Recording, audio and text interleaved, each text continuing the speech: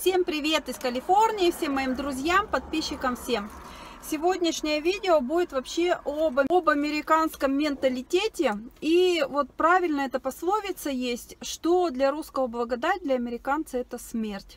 И я как приехала сюда, я в этом убедилась уже не раз. Сегодня у нас вечеринка у Жанны и белая вечеринка. Все приходят в белом. Мужчины, женщины, дети. И мы приготовились с Риком. Купил он даже себе белые брюки. И вчера заболел. И все, и такая простуда у него сильнейшая просто. Чихает там по 10 раз. Все заложено. Вот знаете, когда только вот это вот начинается, прям, ну, сильнейшее. Купил лекарств, всего, ну и все. И вчера его с работы даже выгнали. В 11 часов пришел домой, и все, сегодня лежит. Хотел утром на гольф пойти, а в 4 часа мы на вечеринку должны были вот с ним идти. И все, и он встать не может. Под теплым одеялом лежит, и мало того, еще включил обогреватель в доме такая жарища, его морозит, видимо. Я собралась, я к нему даже подходить боюсь. У нас все пожар тушат, вон вертолет понес эту бочку, там, наверное, несколько тонн в этой бочке, но когда показывают по телевизору, как это все тушится, и вот эта бочка, это, знаете, примерно как выглядит. Вот что я вот сейчас выйду на улицу, плюну, и это при этих масштабах мой плевок, извиняюсь за такое сравнение, но это именно так выглядит. Мой плевок, он ничто. И вот они эти бочки таскают, там что-то тушат. Вы знаете, по телевизору показ вот такой вот. Раз, плевок упал на это пожарище, все выгорело. Мы сегодня утром с Риком смотрели. Вся Санома, вся Напа, все черное, все вот эти вот холмы, и самое такое, ну так смотришь, вот эти виноградники все прямо, они поглощены вот этим дымом и чернота вокруг них. Э, огонь немножко останавливается, когда э, виноградники попадаются. Ну, видимо, там все равно травы столько нету. И он как бы их это не, не, не так все сгорает, но, конечно, для винограда это плохо, ничего там не останется. В общем, ужасно. И вот все ждем, когда уже ветер в нашу сторону пойдет и Надеемся, что будет удача и нас это все обойдет. Так, сейчас я покажу, какая у меня будет бижутерия. Это мне подарила моя подруга. Я делала видео, она управляющая банком, и у нее есть женщина, она также выходила на сцену, и вот в такой бижутерии, в шикарной. Знаете, она мне, когда ее подарила, в том году я что-то все ее никак-то не знала, куда мне одеть такая. Вы знаете, как она блестит? Вот это вот браслет, вот такой вот, шикарный. А это колье. Ну, вот такое его потом одену. И если падает свет, это просто вообще... Все будут ослеплены, ослеплены. Я настроилась нормально. Опять же, я какой сделала плюс из этого всего? Что ради бога, заболел, заболел, Зато я посижу подольше, потому что он долго сидеть не может. Не может. Он посидит там, знаете, 2-4 часа. Все, ему надо домой. Ну, вот такой вот человек. Ему достаточно вот этого общения. И поэтому что-то все вокруг меня собрались. Тут с собаками, с кошками. Так странно, как будто бы места нигде больше нету. Они все стали возле моей машины. Тут тетенька в маске стояла, этот стал разговаривать. Все вокруг пусто. Это как блогеры начинают, когда снимать, говорят. Вот я только села, нашла огромное местечко, и все, сразу все набежали. Вот это примерно та же история. Все, сейчас они будут стоять и обсуждать пожары. В итоге нам придется в два голоса говорить. Он вот тут вот стоит, говорит. Они ему вот тут кричат, и тут я сижу в машине на пустыре. Вон прямо все летает и летает. Сейчас покажу вам видите? И вот, ну что это вот? Ведерочка воды. Как оно может помочь при пожаре? Вот такие самолеты, видите, мощные. Конечно, издалека это кажется такой вот за этими горами. Вот это вот все, видите, горит. И, конечно, это кажется так мало. Там ведь несколько тонн воды. Ну, такое ощущение, что он собирается тут уже что-то тушить. Надеюсь, что это не так. До нас это еще, наверное, не дошло. Видите, все стоят возле меня, фотографируют. Сейчас такое время дебильное у нас, по-другому не скажу. в том плане, что какое-то несчастье или что, все как идиоты, извиняюсь за выражение, стоят с этими, со всеми фотоаппаратами и фоткают все это. Вот такая же, такие же, как и я. Что к чему это несчастье, я сижу и фотографирую это. И все вокруг меня, что собачники. Вот. Так, сейчас продолжу репортаж свой. Забыла сказать, еще столько людей погибло. 372 человека. 372 человека это пропали без вести, ну, видимо, сгорели в домах. Там, господи, сколько-то домов, ужас. Так вот, продолжу я об этом американском менталитете и российском. И, конечно, вот так как мы ездили с Леной на дорогах, я вообще, я, вы знаете, у меня сердце в пятки все время уходило, потому что, во-первых, тебе постоянно кажется, что кто-то сейчас тебе въедет в бочину. Светофоры не работают, и вы знаете, вот такой вот хаос. Машины, кто куда едет, никаких правил же нету у нас. Если, допустим, ломается э, светофор в России, то все едут вот, вот так вот. Я все время сидела и думаю, боже мой, сейчас в нас кто-то врежется. И вот в такие вот, в эти вот протискивается, протискивается. И это я к тому, что здесь говорят, вот Рик все время, ой, тут такое движение, такие скорости. Это такая ерунда. Если ты водил машины в России, это вообще ничто если ты после России здесь начинаешь ездить. Потом,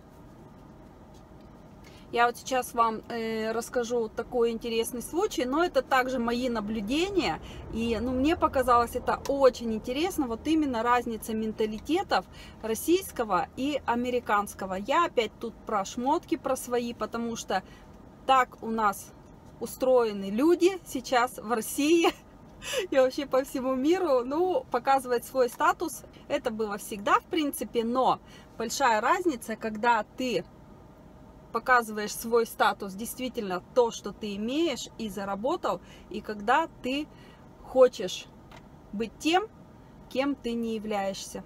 И вот это называется быть или казаться. Вот американцы, американцы они есть такие, а в России это все только кажется. И, и вот есть такие вещи, я зачитаю потом в конце этого видео, что муж бы у меня этого вообще никогда не понял, о чем вообще я веду речь. Для него бы это было невозможно понять эту информацию. Короче, что-то столько самолетов, такого не было. Видимо, что-то уже не то. Ладно, успею репортаж снять. Посылки я успела все отправить с пуховиками, слава богу. Сейчас видео успею доделать. и поеду на вечеринку. Вечеринка по расписанию. Так вот, прихожу я на собрание к, вну... к внучке, мы с Леной приходим. И вы знаете, и такая ситуация интересная. Заходят мамочки, ну, 30-35 лет. И вы знаете, у них такие вещи дорогие. Это сумка от Шанель. Потом одна там зашла с кошельком с таким большим Louis Vuitton. Третья, я смотрю, подходит к учительнице, и у нее сумка висит на плече Mulberry. Mulberry, это кто не знает, это такое дерево, вот такое вот, вот такое, это очень дорогой бренд. И, естественно, глядя на все это, допустим, я-то знаю, что это все подделки. И потом в этом я убедилась еще больше. И, конечно же, у нас люди очень любят свой статус преувеличить. И вот я тут сидела и вообще для себя сделала такие выводы, что я вообще лучше буду носить, знаете, сумку от Майкла Корса, от Коч. Но, по крайней мере, я ее куплю вообще для себя совершенно безболезненно. Ну, вот это вообще обычная, так скажем, здесь цена в Америке. Это можно себе позволить. Конечно, в России это уже статусность как бы человека, если это не, если это не подделка, а вещь купленная. Оригинал, то цена у нее, конечно же, приличная. Там, знаете, 20-30 тысяч. Это очень недешево. И у нас, конечно же, многие этого не могут позволить. Я, конечно же, уже молчу о Шанель. И вот эти вещи все дорогие. Допустим, Малбери, у них кошелечек стоит 700 долларов такой маленький. И купить сумку, это она стоит там, я не знаю, 3-4 тысячи долларов. Это очень дорого. И вот вы знаете, и получается, что эти вещи-то, они не для общего пользования. Они именно должны подчеркивать статус человека, его благополучие, то, что он достиг, так скажем, в жизни, и вот он пришел к тем вещам, которые он может спокойно купить и и сам себе даже доказать, э, может быть, обществу показать, что вот он на такой вот ступени, чего он добился. Телефон накрылся. Так, и вот придя на это родительское собрание, я, конечно, так засомневалась. Думаю, ну, может быть, действительно вот такие обеспеченные родители, что они могут себе позволять такие вещи. Вы знаете, в России позволить себе сумку Шанель за 4-5 тысяч долларов или кошелек такой вот, он тоже стоит 50-60 тысяч рублей.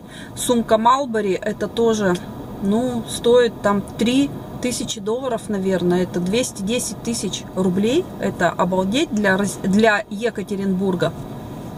Я думаю, что э, кто имеет такие деньги, они не учатся в обычных школах, в таких, которые ходят у нас Неля. Ну, класс, понятно, что он как бы там платный, но тем не менее это не тот уровень, когда ты приходишь и отдаешь своего ребенка в эту обычную там густонаселенную школу. Такие мамочки и папочки водят своих детей в гораздо лучшие частные школы. Вот я когда пришла, я еще как бы так не разобралась. Меня это, конечно, так удивило. И потом у меня началось открытие глаз. Как оно все на самом деле. Когда пришли мы, когда мы потом пришли в английский класс, там учитель рассказывал, что они будут учить, э, ну, знаете, все, что делать там то у некоторых родителей встал вопрос, а почему учат американский английский? Нам нужно британский, чтобы учили. Учительница говорит, ну у нас программа Оксфорд, и поэтому мы вот учим американскому языку, потому что она очень удобная. Там есть, говорит, еще дополнительные классы, они бесплатно идут, ну как бы э, включены в это обучение. Там, говорит, два раза в неделю вы можете учить британский язык. И вот родители это с таким видом, там папа один, допустим, спрашивал, там папа один спрашивал, что фу, мне вот надо британский, но я поняла, что он, видимо, хочет, чтобы дети у него э, поехали учиться в Англию.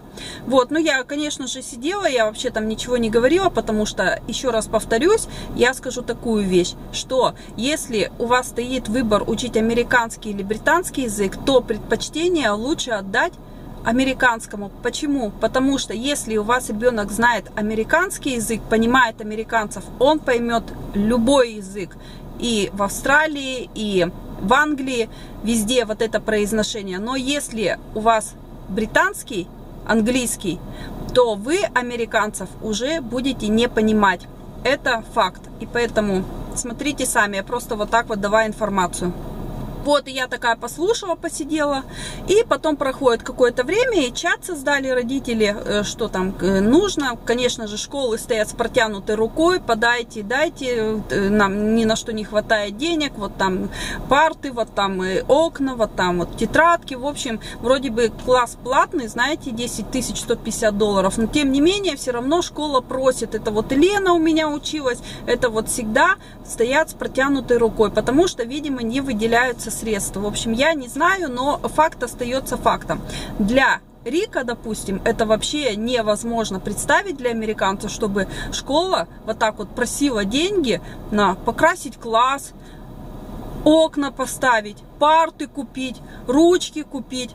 Это для Америки просто непонятно.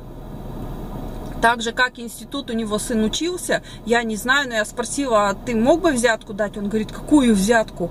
Ну что в институтах там дать взятку, это я поняла тоже невозможно. Я, конечно, не знаю, может быть у кого-то другая информация есть, но, по крайней мере, я обладаю только вот этой. И все. И потом э, стал вопрос, нужно в классе в английском, где учится Неля, поставить новые окна, потому что холодно, потому что там э, стоят деревянные окна, и их нужно заменить. И у нас, у Лены, у меня у Лены есть прекрасный знакомый, который нам все окна поставил.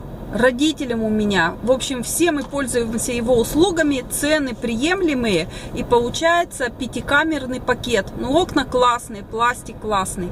И кто не знает, ты можешь поставить окна дорого, но ерунду. И вот, и, э, и все, Елена в чат пишет, что давайте я узнаю по ценам, придет вот этот замерщик, все сделает и скажет, сколько это стоит. Вот, приехал человек наш, смерил все это, сказал стоимость, стоимость очень была хорошая, и все. И те, кто мамочки знают, у нас российские вот эти все чаты, мам, мам, мамские, и все, и началось. А почему так дорого? А где документы? А как мы отчитываться там будем? И вот вы знаете, начали проявлять свою юридическую грамотность. Там Лена пишет, будут эти документы, как, э, естественно. Там, в общем, собралась проверка, и стало непонятно, зачем эти документы, когда это вообще, в принципе, не школа делает. Перед кем отчитываться, когда это делают родители. И все, и там началось то да сё, да, в общем, почему так дорого, а вообще... И начался вот такая вот переписка. Я вам сейчас скажу. Что? Вы что? А мы всю жизнь прожили с 70-го года в квартире с деревянными окнами и заклеиваем, и ничего с нами не случилось. Начали писать мамочки, это с такой гордостью, и вот такая переписка пошла. Так, уверена, наше окно не единственное ущербное в школе. Я думаю, поролоновые полоски и малярный скотч. Можно полоски белой бумаги на мыльную воду клеить. А чем заклеивали? Можно ткань на кефир. Поролон протыкивали. Полоски на кефир или на клейстер. Всегда так делали и в садиках, и в школе. Представляете, это сколько лет назад люди вот так делали, и до сих пор они вот так вот живут. Это в нашем классе, кто ходит мамочки, папочки. В английский. Упаковки пищи и бумаги нам хватит, ее резать надо. Или есть уже что-то более современное? Есть. Какие-нибудь рулончики бумажные, старые просто не нарывать, сантиметров по 3-5 шириной и скатать в рулончики, потом только обмакивай и катай. Ничего себе, у меня нет. Купить белую бязь дешевую? Так подождите, может у кого есть, можно силиконом щели замазать. И вот такая вот ерунда пошла в чате. И ты понимаешь, что люди-то живут вообще в том веке, это у меня был случай.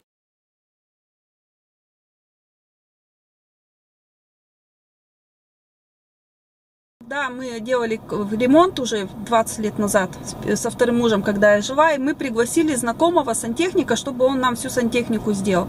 А он уже был отсталый такой в те времена, он был хороший, он нам пришел и на всю сантехнику сделал на паклю, на паклю.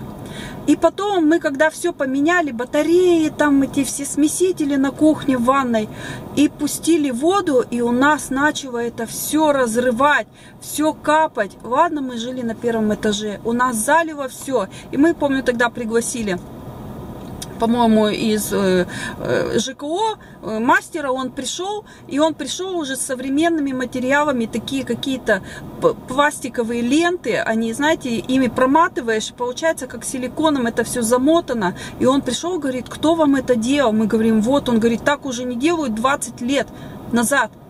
И вот, вы знаете, и получается, что, зайдя в класс, я увидела у людей сумки за 4-5 тысяч долларов, кошельки за тысячу долларов. И потом, когда вот такое получается, ты понимаешь, зачем людям казаться тем, кем они не являются. И потом я помещу сюда фотографию, так интересно, мамочка прислала, которая, которая была с кошельком от Луи Виттон, ну, за тысячу долларов, э, сколько, 60 тысяч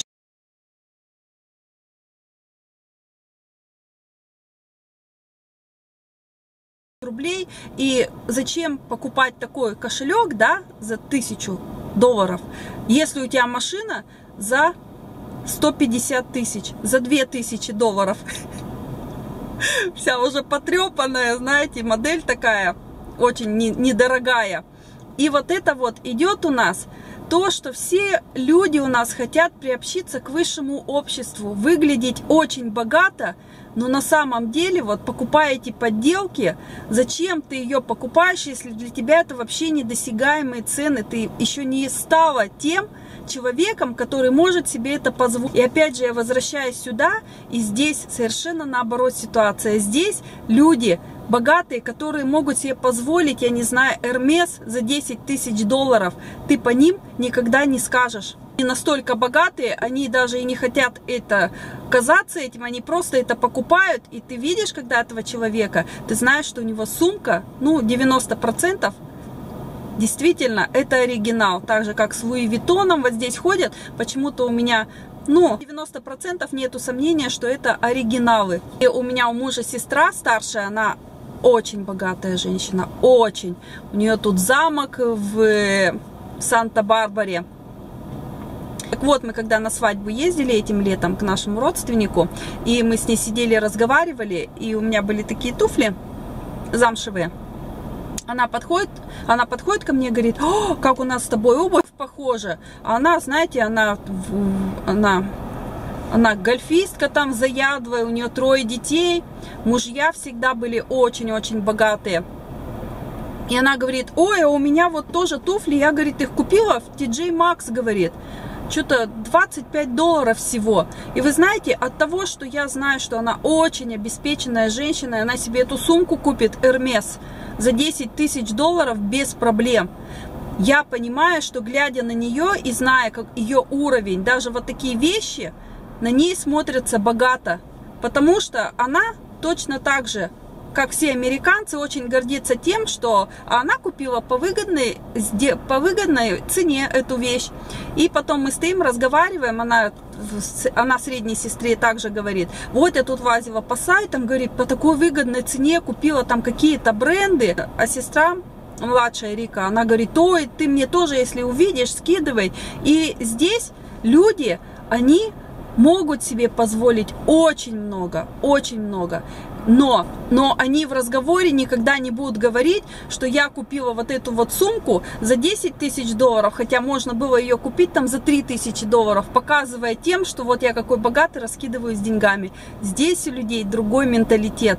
И еще вот такой интересный момент, что многие наши зрители на YouTube э, очень часто спрашивают, и что вы в эту Америку уехали там, я не знаю, вещами трясти, уборщицами работать, там, бэбиситерами, в магазинах, там, я не знаю, за 10-12 долларов. Так вот, опять же, смотря здесь, как живут наши женщины, которые не имеют, допустим, той же квалифицированной работы, и вы знаете, эти женщины могут себе позволить здесь шикарные машины купить. Не с рваными сиденьями и не все облупившуюся. Это очень-очень приличные машины, которые в России, о которых только мечтают. Также могут купить эти бренды Michael Kors, работая здесь не на самой высшей должности, но тем не менее чувствуя себя человеком, отдыхать, ездить вообще без проблем. Но я говорю, а говорю в общем, ну то, что меня здесь окружает. Я не знаю, видите, всякие ситуации здесь в Америке есть. Кто-то, может быть, ничего себе не может позволить. Но вот я здесь общаюсь с довольно-таки большим количеством девчонок. Ну, не знаю ни одной, чтобы, вы знаете, тут перебивалась с копейки на копейку, работая даже не на очень престижных должностях. Но, по крайней мере, есть наши же вот женщины, они тоже э, не не кажутся, а именно они те, какие есть. Если у них есть те же эти сумки, знаете, дорогие, Майклы Корсы и все прочее, это не подделки, люди могли позволить себе это купить. Им не надо это покупать, подделку эту для того, чтобы казаться, вот смотрите, какая я крутая, у меня сумка от Michael Kors, а на самом деле ничего не имея, имея кефир с бумажными лентами. Вот, и поэтому, когда приезжаю в Россию, конечно же, видя вот это вот все, ты понимаешь, что это все фейк. Это все неправда. Это все ложь. В том плане, что люди, они не те, за кого хотят себя выдать.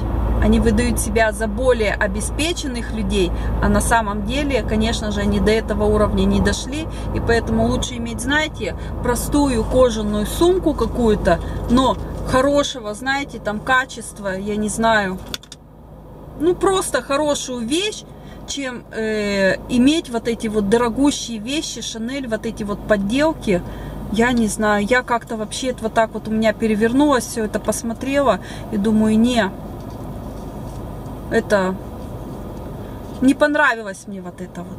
Не понравилось. Еще хочу сказать, что если, допустим, вы очень богатая женщина, там, которая может себе очень много позволить, и там живете в замке, и у вас и машина не машина, в общем-то, все это у вас имеется, то даже если вы купите подделку хорошую, какой-то сумки, вы знаете, на вас эта вещь будет смотреться как настоящая, фирменная, эксклюзивная, оригинальная.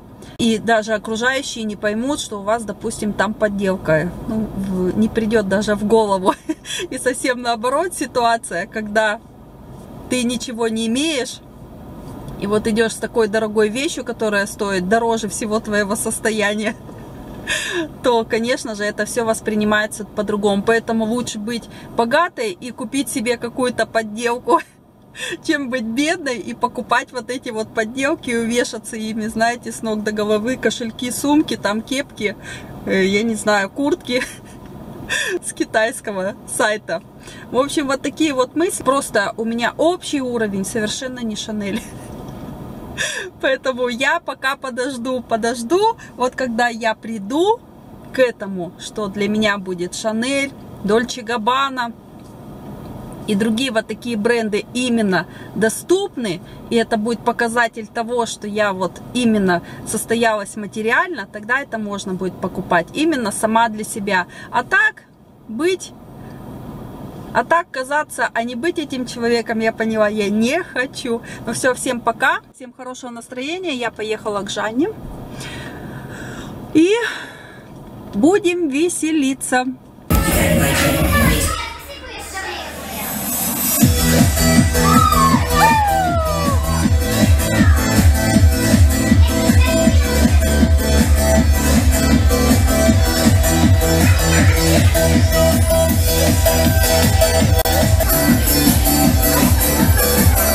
Инстаграм немножко сниму. Все нормально. Никуда идешь, ничего не ждешь, одинокая.